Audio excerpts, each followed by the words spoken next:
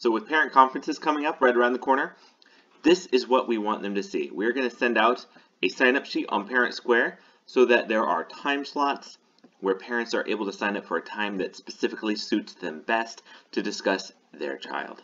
So how do we set this up? What we do is first we go to add-ons. So each of you, when you're on your home menu, should see an add-ons button at the top here.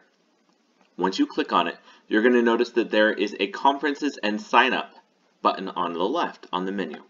Once you open that up, you're going to see a few options. First, we're going to send it to our class, so I'm going to pretend to be Miss Gelger. And if the date we're setting it up for was Friday, 1023, let's see, start time 12.30, end time 4 o'clock p.m. Conference duration, we'll say 10 minutes with 5 minute breaks in between. All right. All right, I'm going to next. We then have several slots, four per hour, that parents can choose to sign up for.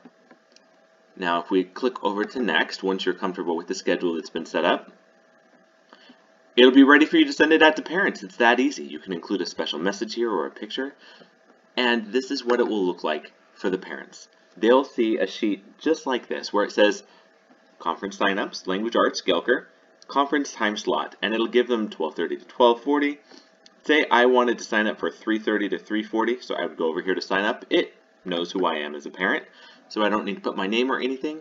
I can just click Save. And I'm signed up. And you will have a list of parents who have signed up for specific times that suit them best. It's that easy. Please send me an email if you have any questions, and I hope to hear from you soon. Happy conferencing.